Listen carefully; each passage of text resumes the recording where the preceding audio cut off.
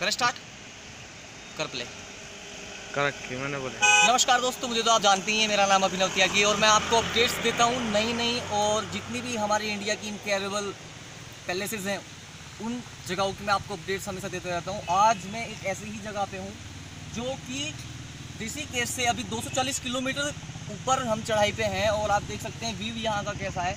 यहाँ पे चारों तरफ़ आप देखिए पहाड़ी पहाड़ हैं बस। उसके अलावा कुछ भी नहीं है। रोड पे आप देखेंगे तो बाइक्स हैं कार्स हैं, जो लोग जा रहे हैं ऊपर। और हम लोग जो है बाय रोड निकले हैं, हम लोग ट्रैक ले लिए। और गर्मी भी काफ़ी है। इसके लिए धूप में यहाँ पे चलना बहुत मुश्किल हो जाता है। तो फ्रेंड्स अभी आप देखिए, हम लोग जिस तरह से रोड पे चल रहे हैं, वैसे तो उत्तराखंड गवर्नमेंट बहुत अच्छा काम करती है। और उन्होंने रोड्स वगैरह बहुत ही अच्छा प्रिपरेशन किया हुआ है। लेकिन इस तरह की जो प्रॉब्लम्स आती है, ये पहाड़ गिरना, पत्थर टूटना, जो बहुत ही ज़्यादा प्रॉब्लम देती है। और ये आप देख सकते हैं, रोड की इस तरफ़ पहाड़ी है और एकदम जस्ट इस तरफ़ खाई है। तो यहाँ पे ड्राइवर्स कितने स्ट्रिक्टली गाड़ी को मतलब ड्राइव करते हैं और एक तरह से मौत को हाथ में लेके चलने वाली बात रहती है। कितनी गहरी खाई है, पहाड़ी से ऊँची खाई है यहाँ पे। और एक साइड में आप देख सकते हैं पहाड़ी है।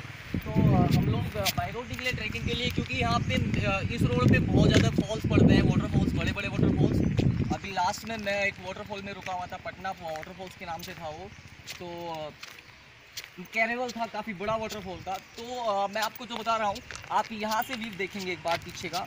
तो अ, एक एक्चुअल आप इस चीज़ को जैसे ही फीलिंग लेते हैं जैसे एयर को हम फील करते हैं तो वो एक इंडिया की क्वालिटी जो रहती है एक बेस क्वालिटी जो है उसकी स्मेल आती है। कि एक्चुअल में इंडिया इनक्रेडिबल क्यों है और किस लिए उसे इनक्रेडिबल बोला गया है? उसी चीज़ की जो हमें यहाँ से पहचान होती है कि किस लिए इनक्रेडिबल है, क्योंकि यहाँ पे आप देख सकते हैं कि नेचर एकदम प्योर है वाटर एकदम प्योर है एवरीथिंग इज़ प्योर यहाँ पे कुछ भी अलग नहीं है, आप देख सकते हैं पेड़ पौधे एकदम ग्रीन हैं और कितनी हरियाली चारों तरफ़ है। तो ऐसे जितने भी एरियाज़ हमारे उत्तराखंड के नॉर्थ इंडिया में जितनी जगह है, वो बहुत खुशहाल जगह है, यहाँ पे लोग बीमार बहुत कम होते हैं। प्रॉब्लम्स कुछ ज़्यादा नहीं होती।